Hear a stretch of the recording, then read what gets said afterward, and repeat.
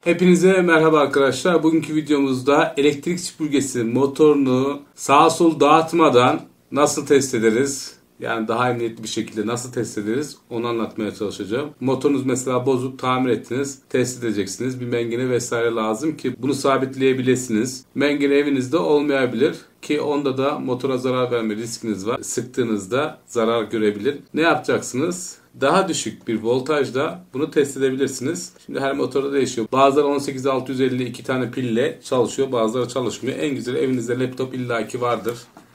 Bizim evimizde var. Bunun adaptörü 19.5 volt 7 amper bu. Ne yapacağız?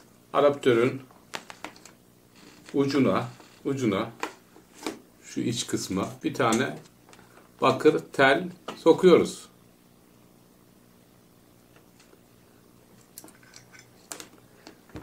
Test edeceğimiz motorun artı ve eksi kutbuna iki tane krokodil elinizde yoksa tel de bağlayabilirsiniz.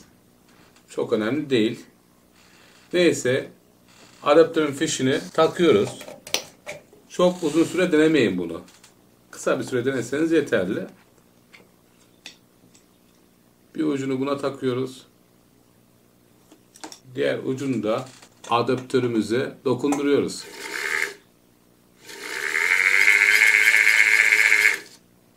Gördüğünüz gibi çalışıyor.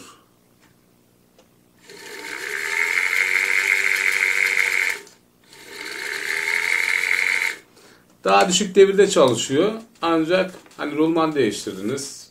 Ne bileyim işte motor hiç çalışmıyordu. Kömürünü değiştirdiniz vesaire. Sonra acaba bu çalışıyor mu diye komple toplamadan önce bir denemek istiyorsunuz. Bu şekilde deneyebilirsiniz. Easy tabii ki de. Basit yöntemler ev ortamında sizler için kanalımız tarafından sunuluyor. Videoma burada son veriyorum arkadaşlar. Umarım faydalı güzel bir video olmuştur. YouTube kanalımıza abone olarak destek verirseniz sevinirim. Başka bir videomuzda görüşmek üzere. Hepinize sağlıklı, mutlu, güzel günler dilerim. Hoşçakalın.